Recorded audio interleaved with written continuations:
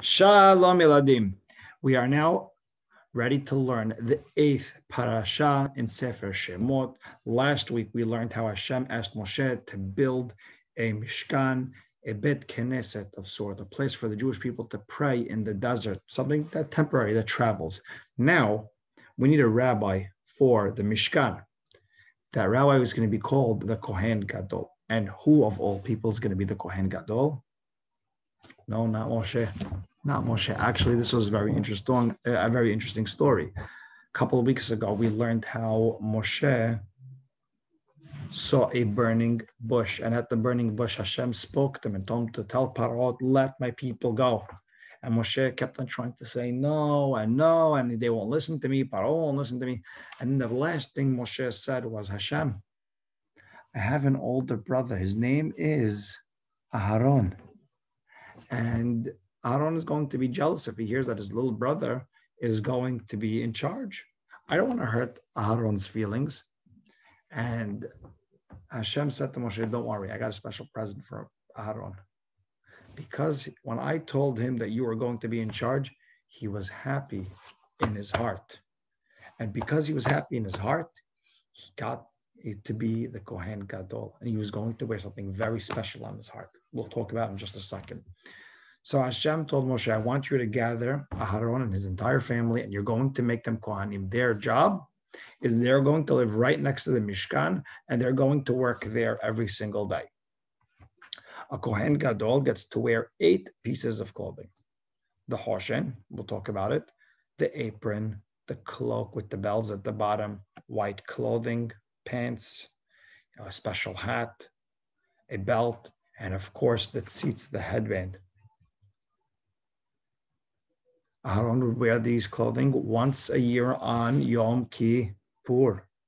He would first put on an apron, and on the apron there was two special. They were gold. There was a gold button with diamonds on top of that, and they were such special diamonds. They came from the sky. You couldn't find them anywhere in the world. They came specially from the sky, and they were put on Aharon's shoulders, the Avnei Shoham. These are the special, special Avnei Shoham, the stones of Shoham. They came from the Shamayim. Over here on the on the chest area, right above his heart, was the Hoshen. And for every one of Yaakov's children, Reuven, Shimon, Levi, Yehuda, Issachar, Zebulun, Dan, Naphtali, Gad, Asher, Yosef, Benjamin, in the order that they were born, they, each one had a special color stone. And when any king had a question, they would come up to the Kohen Gadol, they would ask him the question, and the letters would, would light up. And that was Hashem's way of giving an answer.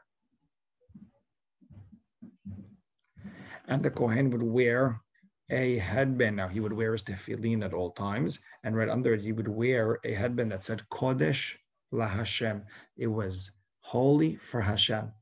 And the fact, eh, first of all, it was very, very holy because Hashem, it had Hashem's name on it in gold. But also, whenever the Kohen Gadol would wear it, if there was any mistake that the Jewish people did, Hashem would forgive. Hashem would forgive all mistakes whenever there was the headband, it seats on top of the Kohen's head. And of course, this is very, very important for all of us to know. At the bottom of the Kohen Gadol's clothing, there was bells. Now, why are the bells important? Beautiful gold bells. But why were they important? They're very important for us because they gave the signal to the other Kohanim, the young Air Kohanim, that whenever you hear the bells, that means the rabbi, the Kohen Gadol is walking into the room. And when the rabbi walks into the room, what do we have to do? We have to stand. And that's where we learned from. That's why there was the gold bells at the bottom of the, the Kohen Gadol's clothing. Next, the regular Kohanim, they would wear just four pieces of clothing and they were white. The pants, a cloak, a hat, and a belt. Then Hashem asked Moshe to build a gold mizbeach for spices. Put it right at the entrance of the Mishkan, There's the menorah. There's the table we talked about. There's the curtain. And right over here is the mizbeach, the made of gold. It's made of pure gold. There was wood on the inside, gold on the outside. And the Kohen would throw the spices every day and would go up to the sky and would make a beautiful, beautiful smell. And that was the Kohen Gadol's work. He would light the menorah, he would eat the, the, the, the halot, he would uh, give the, the, the spices on the mizbeach, and that way he would become the rabbi in the Mishkan. And all because, why was Aaron chosen? Because, let's go back to the beginning. Because when he heard that his younger brother got something special, he wasn't jealous. He was happy for his big brother. So we always have to be happy for people. Okay, now something very interesting about this parasha. In the entire parashat Tetzaveh, you don't have Moshe's name, not even once. It doesn't say Moshe's name.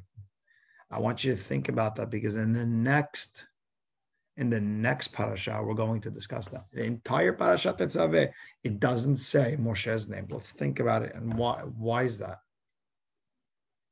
Shalom yeladim.